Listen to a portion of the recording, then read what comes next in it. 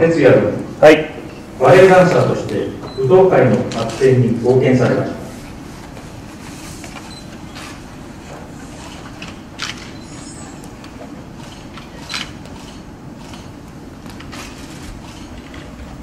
支持報奨熊川哲也以下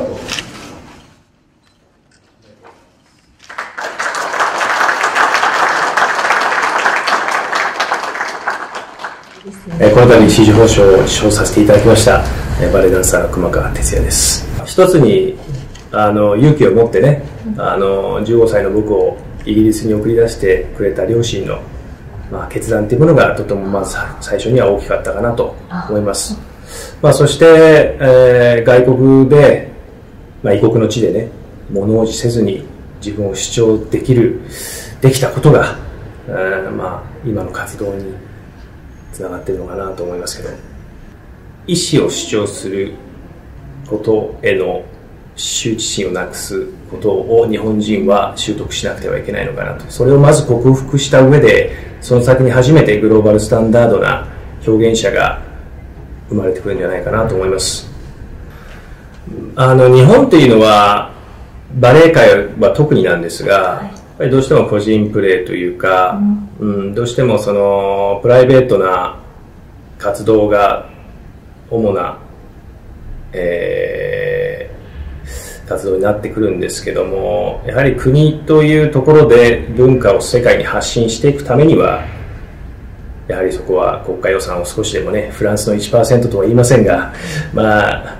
少しでもそこに近づけるぐらいの予算を割いていただきでやはりその、まあ、いいものを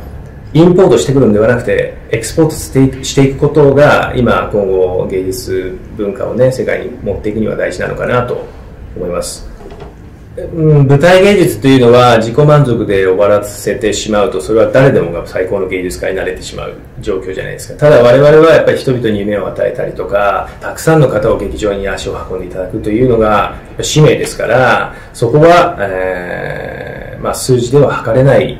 点数ではない我々芸術家っていうのは世界で生きてますがやはりどうしてもその人々に届かないとか、まあ、客席が埋まらないとかそういったことっていうのはシビアに考えていかなきゃいけないとは思うので、やはりそこは最高の、えー、まあ、芸術表現をできるアーティストが、たくさんの方々を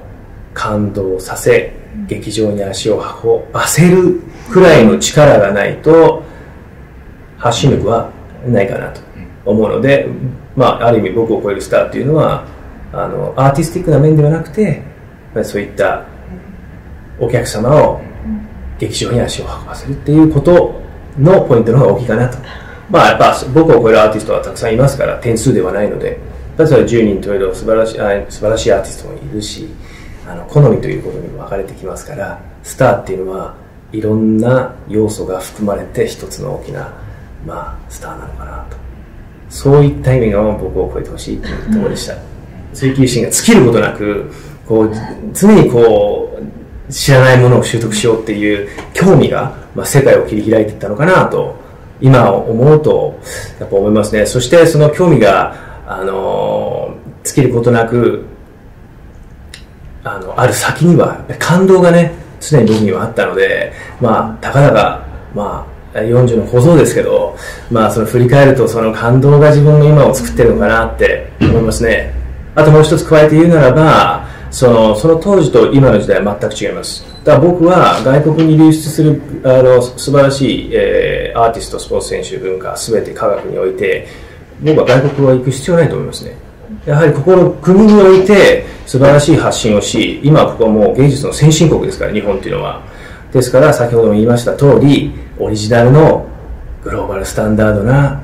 日本から発信する文化を日本で作りそれを皆さんに見せていただきたいなと思いますし、僕もその一員となれれば光栄かなと思います。まあ、夢はあの好きなバレエを続けて、まあ、探求心追求心を枯らすことなくねあの自分の知らないことを習得してまた感動した人生を送っていきたいなと思います。